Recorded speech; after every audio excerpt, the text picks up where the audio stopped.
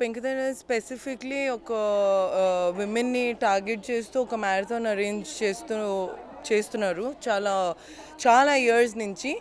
So uh, I'm very happy. I'm glad to be associated. Milind has always made sure that I come for press conference and uh, you know launch this off in our city. Uh, uh we need women uh, to focus on themselves. Uh, while fitness uh, meda, while health meda. Mainly it's health.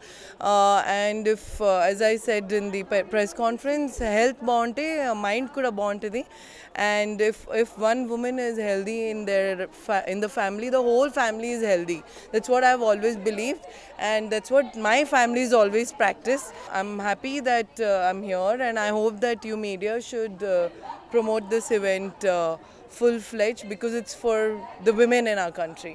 ఫిట్గా ఉండాలంటే మీరు running చేయాలి okay you should give అంటే నేను in my opinion I think డేలో twenty four అవర్స్లో at least one hour we should focus on ourselves are body you know ఆ బా panelists kuda annaru you know we should love ourselves so uh, a one hour uh, you can focus on your body and when you're focusing on your body you're also focusing on yourself you, our, our time you deserve it a one hour two hours ఎందుకంటే day అంతా if you're married you're you're busy with your household things or your children or you're, you know busy with your career the whole day but that one hour you should give it to yourself and then uh, I think it, it's always life changing experience